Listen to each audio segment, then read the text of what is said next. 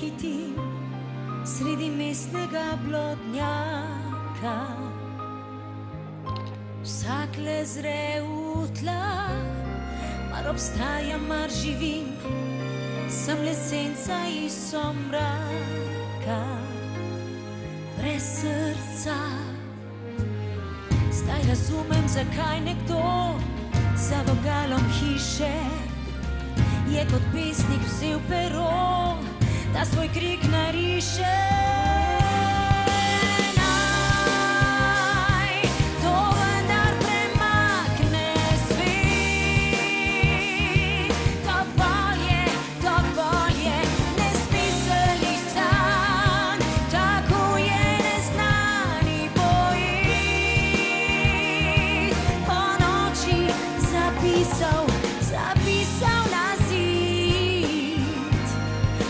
Spisnil je grafit.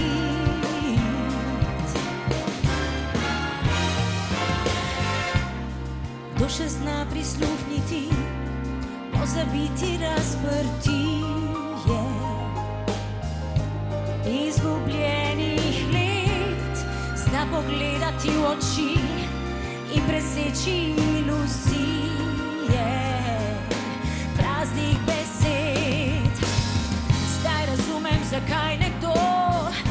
za vogalom hiše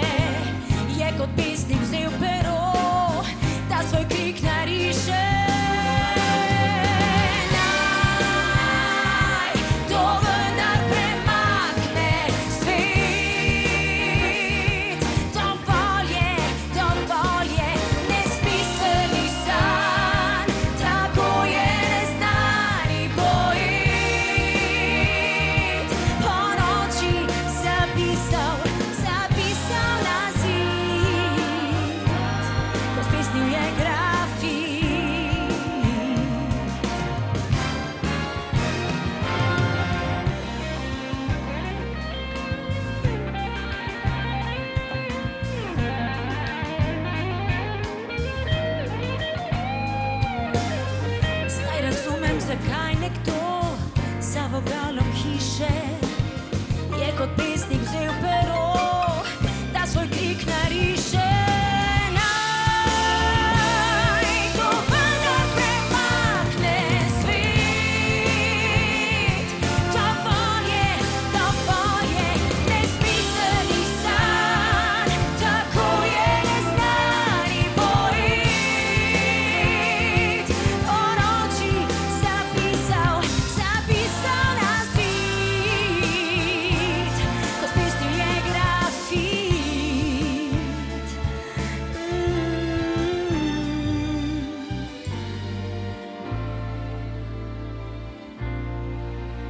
песню играть.